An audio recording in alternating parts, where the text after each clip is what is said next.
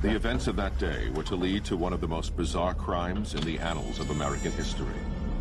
The Texas Chainsaw Massacre.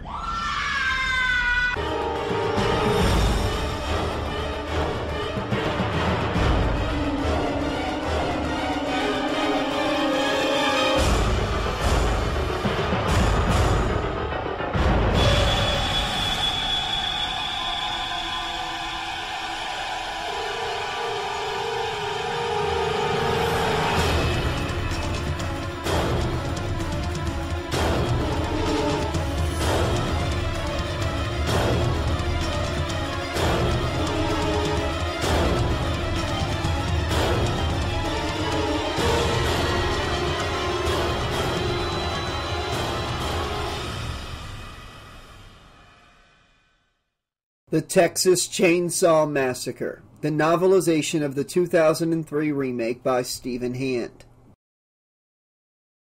Chapter 4 Maybe gas station was too generous a description.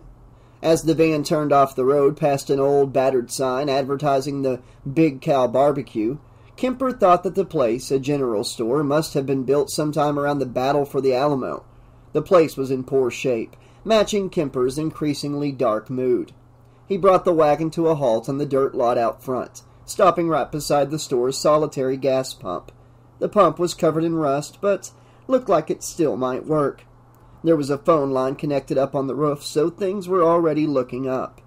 The moment the handbrake went on, the doors flew open and everyone rushed outside, only too glad to get away from the dead body. To the entrance to the building was a double screen door, just the other side of the gas pump. But Kemper ignored it and walked round to take another look at the rear window of the van. He cursed under his breath. There was a big round hole in the glass with blood all over it. Not only did it need fixing, but right now it was like a neon sign saying something real bad had happened inside the vehicle. While the mechanic fretted over his truck, the others were taking a look around. The store was a large, weathered clapboard building. It used to be whitewashed, but now gray boards were showing through all over, and what patches of white remained only served to emphasize the neglected, aged condition of the place. A simple porch had been built over the main entrance, plain wooden posts holding a sloped roof of corrugated iron sheets. A couple of electric light bulbs were fixed to the front of the overhang, quite bizarrely for this time of day. Both lights were on. The yard in front of the store was a ramshackle mess with all kinds of junk lying around. Wooden crates, a rack of used tires and hubcaps, dented gas cylinders, propane accessories, and an old van seat that was used as a porch bench.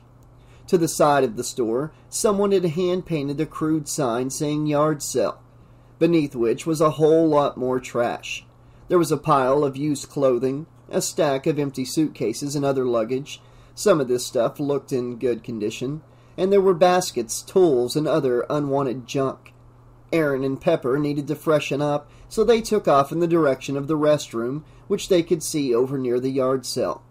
Pepper would have given anything for a clean, cold shower right now, but guessed a splash of water from a dirty wash basin faucet would have to suffice. Morgan and Andy waited for Kemper. Whoever it was who owned the store, there was no one outside. So when Kemper had finished checking the van for damage, he took a deep breath, paused to collect himself, then headed on inside the building. The other two guys followed, close behind.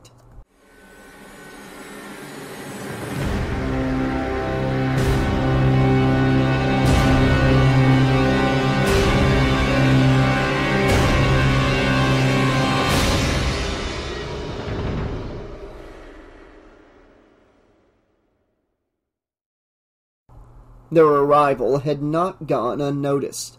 Ever since the dry brake disc of the van had squilled up to the front of the dilapidated old shack, Luda May had been watching through the store's barred windows. And if the building looked bad, Luda May looked even worse. The skin on her small, withered body was leathery from years of exposure to the harsh Texas sun, and from long days of being blasted by the wind and dust of the prairie. The little old lady looked as gnarled as tree bark, but she was as hard as the local limestone. Her hair was tied back, and she wore the functional cotton clothes of someone who'd never seen a designer outfit in her whole goddamn life. She watched the kids closely, saw them almost fight their way out of the vehicle. Well, I'll be damned, she intoned in a heavy accent, her face impassive. Something like this comes along, you realize just how crazy the world is out there. The rest followed in a whirlwind. That young man came in, the one with the grease monkey hands and the black goatee, and told Luda May all about some crazy girl gone done wrong with the genuine revolver. At first she thought the boy was spinning her a crock, but then that other one, the lanky streak of uh, four-eyed piss, went and said the same darn thing, and so did the cute blonde with the muscles. They all stood there just bawling till Luda May told them to show her the goddamn body if there were such a thing. So they took her out, where she met them, pretty young chickies coming out the John, and they all showed her where that dead girl had blown her stupid young brains out. No wonder the five of them looked like they'd proper shit themselves. It was a terrible, terrible tragedy, no mistake. So they headed back inside, except the two cutie darlings who stayed out by the vehicle, and Luda May went behind her counter and picked up the telephone. The kids needed help, ain't that a fact? And Luda May knew exactly who to call. Andy, Kemper, and Morgan stood and watched across the counter as the old storekeeper rang for the police. It's awful, Luda May was saying down the phone a short time later. There's six of 'em all together, including the dead 'un. Poor thing.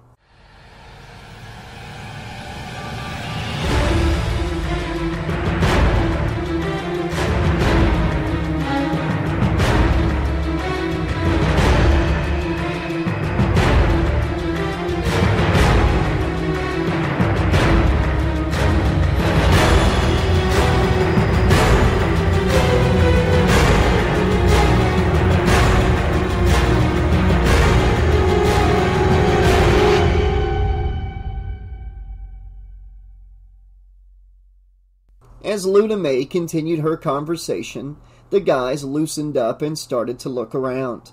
The place was totally Hicksville.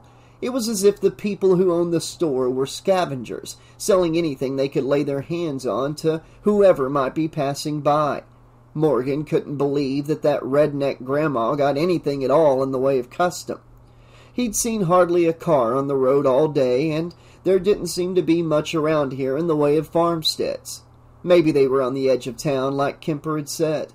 Otherwise, Morgan couldn't see how the gravel voiced old girl could stay in business. The air inside the store was hot and dusty, and the general condition of the place was a perfect match for the run-down mess they'd seen out in the lot. There didn't seem to be much going on in the way of refrigeration or gadgets, and Luda May's merchandise looked as if a blind man had thrown it onto the shelves and all over the floor. The thing that seemed to sell the most was meat. Morgan had found a long shelf that was piled up with nothing but beef, cured beef, cubed beef, beef jerky. He tapped Andy on the back. Dude, want some beef? Andy smirked and pointed up to a chalkboard featuring other delectable provisions for sale beef tongue, ham hock, head cheese. Andy couldn't help but remember the slaughterhouse and the fact that Morgan had said he was a vegan. Do vegans eat head cheese? asked Andy sincerely. If Morgan wasn't so stoned, and if they weren't all in such deep shit right now, he would probably have slapped the idiot. How can head cheese be vegan? You take a head, clean it by removing the eyes, ears, and brain, though this is optional, then you break the skull up into a number of different pieces. Boil the damn things, throw in some herbs and stuff, remove all the solids from the pan, grind them together, and let the resultant paste cool down and solidify in a bag of cheesecloth or something. Then, once this carry-on paste has totally dripped dry into a block, you can take it and carve it up into yummy slices. So you're eating the fucking head and chowing down on pieces of face. How the fuck can that be vegetarian? Morgan sighed. The sickly smell of treated beef was starting to bother him. Come to think of it, the whole room smelt pretty damned bad. Besides the meat, the store was mostly packed out with more used clothing and a wide choice of old auto spares. The clothing was a jumble of all kinds of different styles and sizes men's jackets, boys' pants and shoes, women's dresses, you name it. Some of the clothes were a little old fashioned, but some looked like they'd just come straight from the mall. It was the same with the auto parts. On a different day, Kemper would have happily searched through all the worn tires, fan belts, hoses, and brake cables, and he would definitely have found something he could use from a couple of bins full of different mirrors and spark plugs. Today, however, he was starting to feel more than a little frustrated. So far, this had been the worst couple of hours of his entire life, and all he wanted to do was get rid of the body, square things up with the law, and then get back on the damn road to Dallas. He drummed his fingers on the filthy countertop, waiting for Luda May to bring the call to some kind of conclusion. Why don't you come out and ask him yourself? she was saying in her harsh, raspy tones. Then she stopped to hear the reply. Uh huh. Uh huh. Finally, she lowered the phone from her ear and turned to Kemper. Where'd you say you found her again? Kemper started to mess with his goatee. I already told you. He said with barely suppressed impatience. Ten minutes west of here. Luda May lifted the receiver again. About three miles west, right. Then she hung up, at the same time spitting a wet ball of chewing tobacco into a spittoon lying on the floor. Friggin' redneck. How soon will he be here? asked Kemper. Luda May stopped. She looked at him squarely in the eye.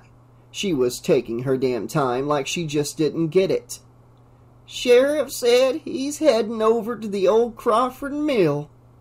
What? Kemper, he Wait, no. Kemper was. What did she say? The what? asked Kemper, not quite sure this was really happening. He had a dead body in the back of his van, and the cops decided to go on a tour of Travis County? What was wrong with these people? The old shopkeeper kept to the plain facts. She was only telling the boy what the sheriff had told her. Wasn't her problem if the boy didn't like what he was hearing none. Wants to know, she continued, if y'all wouldn't mind driving out that way to make a report. Yes, we goddamn mind, barked Kemper. It was crazy. Why should they have to go out to the sheriff? It was the sheriff's damn job to come to the scene of the incident. During his trek through the land of bad smelling meat products, Morgan had been listening to this increasingly heated exchange. He was still a bit high on the dope he'd had earlier, but he wasn't so far gone that he couldn't tell bullshit when he heard it. And he was hearing it now. Total bullshit. He'd been trying his best to stay calm. They'd dealt with the girl thing. They'd brought her here, played everything by the book, but now everyone kept dicking them around like no one gave a fuck. It, it was too much. They could have thrown her body out the van any time they liked. Christ, they didn't even need to pick her up in the first place. And now they were supposed to go driving around some fucking hillbilly back road in search of some mill they'd never fucking heard of, and which probably didn't exist on any single map known to fucking mankind. What was the sheriff doing that was so important? Getting Patsy and Dolly to suck his dick off? No. No way. How often do girls blow their heads off around this shithole town? he shouted, stepping over to join Kemper at the counter. Like Morgan, Kemper was pretty pissed off too. This sheriff bull wasn't what he needed to hear right now. We're not gonna drive around town with a dead girl in my van. He shouted. Luda May grabbed onto the counter with both hands, tilted her head, and stared daggers at the two of them. They had no right to come on in here and talk to her like that. Not in her goddamn Christen building. Andy could see it was getting ugly. He knew his friends were highly strung, but it wasn't the old lady's fault. If they should be shouting at anyone, it should be the sheriff. But for all they knew, the sheriff might have had something really urgent on his hands, while the dead girl, she was finished business. Quickly, he walked over and grabbed both his friends by their shoulders. Excuse me, ma'am he said warmly, but with an undertone of severity. then to his friends. Cool it. Kemper looked at him, at Andy telling him to cool it, then sighed, the air escaping through his long nose. Morgan followed suit and stepped away from the counter, but he was ready to join in as he watched Kemper try with Luda May one last time. Why the hell can't the sheriff meet us here? whined Kemper. Didn't say, replied the storekeeper stiffly.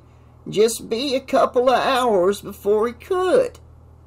At the mere mention of a couple of hours, Kemper finally lost it. He leaned over the counter and exploded in Luda May's face. Give me a fucking break. There's no goddamn way we're waiting a couple fucking hours. But Luda May just stood there and stared right back at him. She took it all, everything he got. Kemper was just a boy. She wasn't going to let herself get worked up over his baby ass whining. He could shout at her all day for all she cared. Kemper was in her face now, but she calmly crossed her arms and looked him right back in the eye. And when he quit his yapping, she coldly informed him, Young man, what you do is your own business. And that was the end of it. They could either go up right now and meet the sheriff at Crawford Mill, or they could wait down here for two hours with Luda May, with her auto parts and her fucking head cheese. Her breath stank of pig spunk. Kemper pushed his way back out into the open air. God, he didn't realize just how much that festering shithole had been bothering him. Andy and Morgan followed, leaving Luda May to watch them through the window just like when they had arrived. For their part, Pepper and Erin had agreed never to talk about their trip to the restrooms again, except maybe if drunk and trying to gross someone out in a game of the world's worst. The girls found it hard to believe that Kemper had to tell them. In fact, all five of them thought it was pretty damn messed up, but what choice did they have? It seemed that since they'd picked that girl up, their whole life had been on rails, and things would probably stay out of control until they got rid of the body. They were still a long way from Dallas, so now they either had to go find the sheriff or wait two hours for him to show up here. Everyone was feeling pretty damn pissed. It was insane that they had to make a decision like this because this backwater pisshole had only one lousy dumbass shit cop to go around. Erin, Morgan, Andy, Kemper, Pepper, they were all sick of the fix they were in.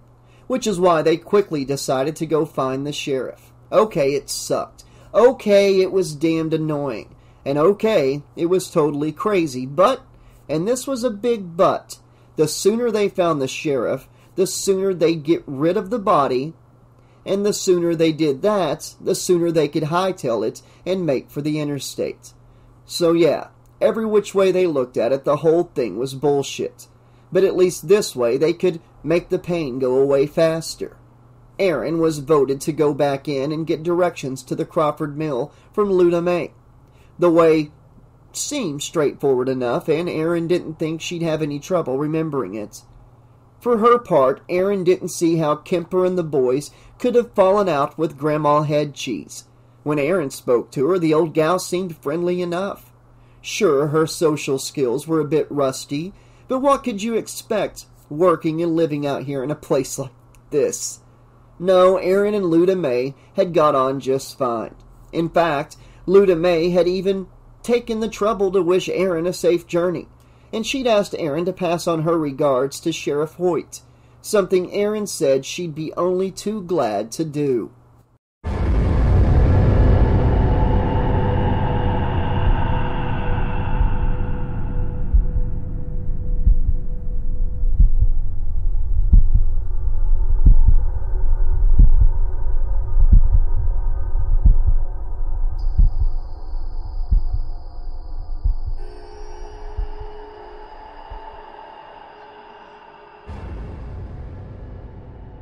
The van pulled away from the store, the big wheels kicking up a major dust storm from behind them. And then they were gone.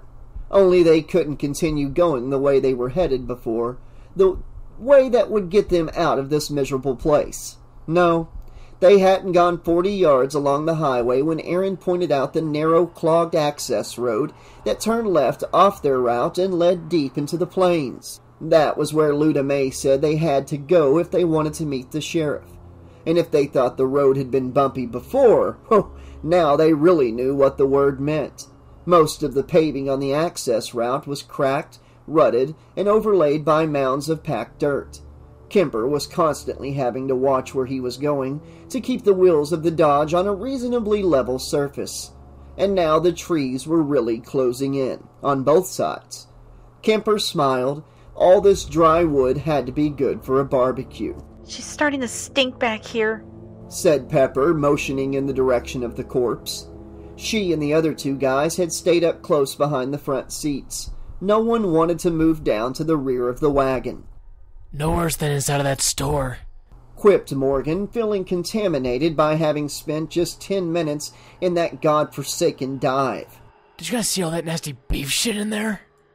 Erin didn't want to be reminded. When she'd gone back inside to ask Luda May the way to the Crawford Mill, the stink of the place had hit her like a sledgehammer. And that was no exaggeration. Morgan, She warned. if I have to heave again, I'm doing it on you. But Morgan didn't want to argue right now, because suddenly the journey had started creeping him out. He could see how hard it was for Kemper to keep going, and he could see how increasingly overgrown the area was becoming, with tall, dry Johnson grass. Where the fuck were they going? He could see the other guys weren't impressed either, Maybe we should have just waited at the store. said Morgan ruefully, For a couple hours? reminded Andy. No thanks.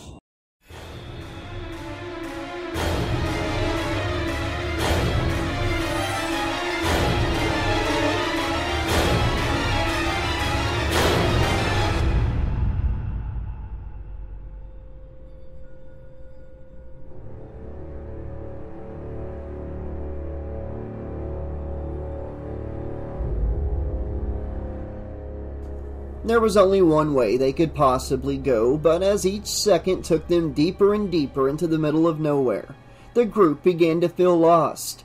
Each of them sat in silence and started to look around, trying to see something, anything that could be an indicator to the mill or to the sheriff. Erin, in particular, was watching out for something, Luda May had said. There! A gravel trail turned right through a crowded grove of overleaning dead trees choked with bramble, Johnson grass, and vine. That was the way they had to go. It was the trail Luda May had told her about, even if it did seem pretty damn creepy, The lady said this road would take us right to the house. said Erin, as much to convince and reassure herself as convince and reassure the others. Kemper shook his head, then turned the wheel in the direction of the trail. He really didn't like this. He didn't like it at all. In the back of his mind, he hoped Erin had made a mistake so that they could turn around and then find the real way to Crawford Mill. The trail they were on now was going to kill the suspension, and the place had a bad vibe to it, something he couldn't quite put his finger on, and he was usually pretty thick skinned. But right now, all five of them were getting jumpy. Their nerves tingled, and they found themselves looking and listening at everything with a high strung intensity. Well, look at that. Just ahead of them, a wrecked car lay off by the side of the trail. It had been there for months at least, and was almost half concealed beneath dense undergrowth.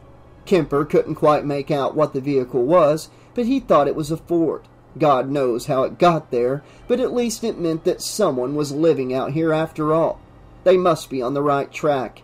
Whoever Crawford was, this was probably one of his old vehicles. Like many farmers, he'd probably just left the automobile to rust in a disused corner of his own land. Andy was less encouraged. He'd seen the abandoned car, but there was still no sign of any mill, and still no sheriff. I don't know about you, he said, but I didn't take off a week of work to haul a damn corpse around the prairie. There was a pause. Then suddenly they all howled with laughter. Christ! Andy hadn't meant it as a joke, but there was something about the timing of it all. This place, Luda May, the dead girl, the abandoned car, Andy had deadpanned the one liner at the perfect moment, and suddenly the absurdity of their predicament had given them a moment of release, albeit one laced with an undercurrent of screaming broken glass. Everyone was still laughing when Kemper suddenly called out, Hey, what's that? They looked forward. Through the harrowing trees ahead of them, they caught their first sight of a building.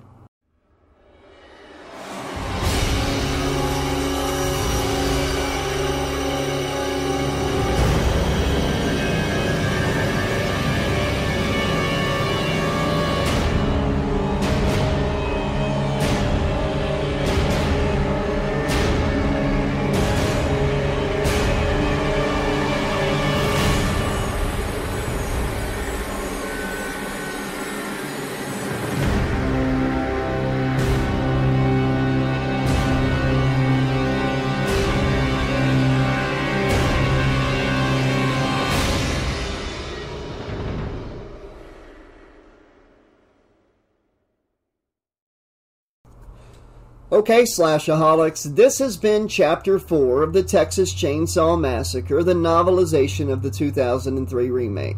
Sorry for the delay on this uh, narration, everybody. Um, I was I'm, i live in the South. Uh, we had that huge snowstorm, uh, really low temperatures. The snow's been melting off the past couple days, but uh, something that comes with below uh, freezing temperatures and you know below zero temperatures like we had throughout the nights through this whole mess is uh, broken water pipes. Had three burst pipes under my house. Uh, been dealing with that for the past couple days. But things are starting to get back to normal now. The weather is uh, the way it usually is supposed to be this time of year for where I live. The pipes are fixed, got running water again, the power's staying on. Uh, I think I think the worst is is past us. So I was able to get this chapter out tonight. I really hope you all enjoy it. We're really getting to the part of the story where things are about to take off. Um, I'm looking forward to their interaction with the sheriff. I'm curious to see how this is going to play out compared to the movie. Uh, what little bonuses we're going to get, what little extras we're going to get. I hope you're excited too. Uh, let me know what you guys thought of this chapter, what you thought of the book so far.